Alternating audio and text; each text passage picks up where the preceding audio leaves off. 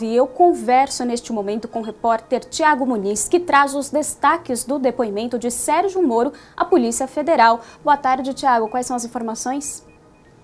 Boa tarde, Lívia. Boa tarde a todos. O depoimento do ex-ministro da Justiça e Segurança Pública, Sérgio Moro, foi divulgado há pouco, primeiramente pelo canal de TV CNN Brasil, mas também já temos o acesso à íntegra do depoimento dele à Polícia Federal. Se destaca aí a insistência, segundo Sérgio Moro, a, em trocar a superintendência da Polícia Federal no Rio de Janeiro. Segundo Sérgio Moro, Bolsonaro teria mandado a seguinte mensagem para ele: Moro, você tem 27 superintendências, eu quero apenas uma, a do Rio de Janeiro.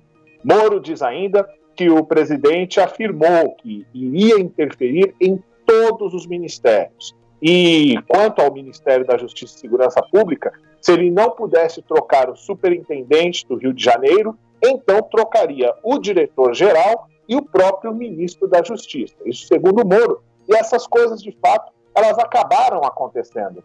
Moro procedeu, ou melhor, Bolsonaro procedeu com a troca de Maurício Valeixo, é, foi substituído, o, o diretor-geral da, da, corporação, e depois é, houve a saída de Moro. Bolsonaro é, não demitiu Moro, mas essa saída acabou acontecendo a partir da vontade do próprio ministro da Justiça. Moro diz que pensou em concordar com a troca no Rio de Janeiro para evitar um conflito desnecessário mas que teria chegado à conclusão de que não poderia trocar o diretor-geral sem que houvesse uma causa.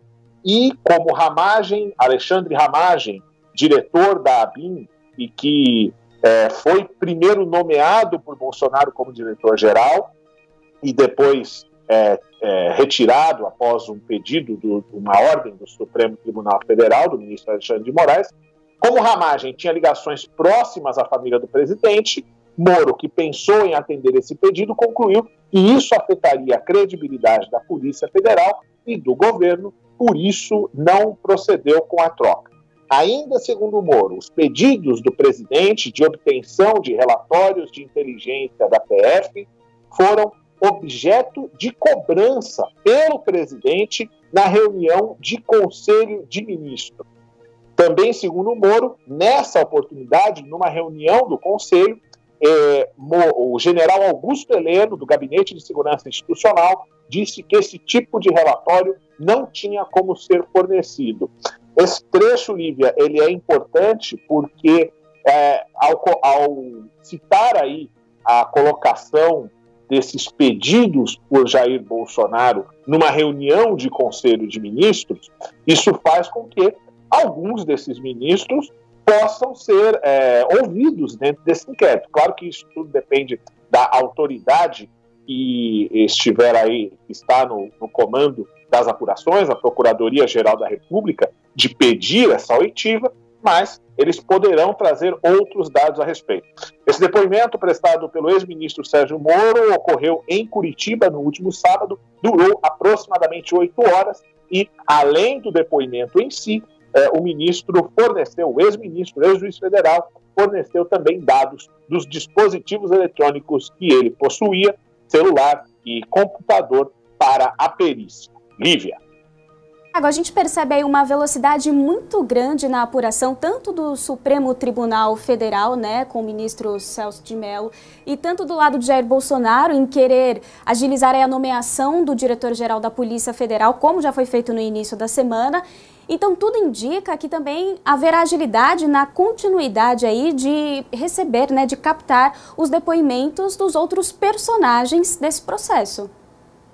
Bem colocado, Lívia. É, a oitiva de Sérgio Moro aconteceu rapidamente porque o ministro Celso de Mello entendeu que já havia é, como é, o ministro prestar, o ex-ministro Sérgio Moro, como prestar essas informações imediatamente para que não houvesse nenhuma demora na prestação desses depoimentos.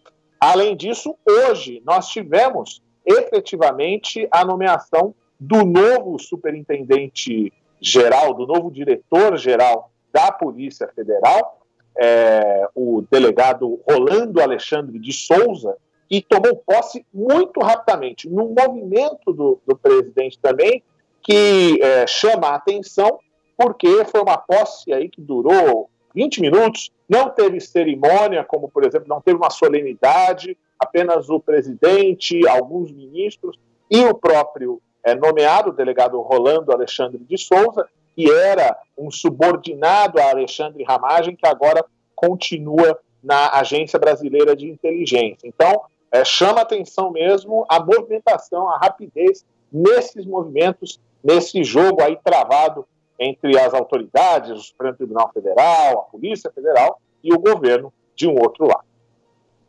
Certamente teremos mais novidades. Tiago, acho que a justiça nunca foi tão rápida nesse país, principalmente em um momento crítico como este que a gente vive, né, em meio a uma pandemia mundial.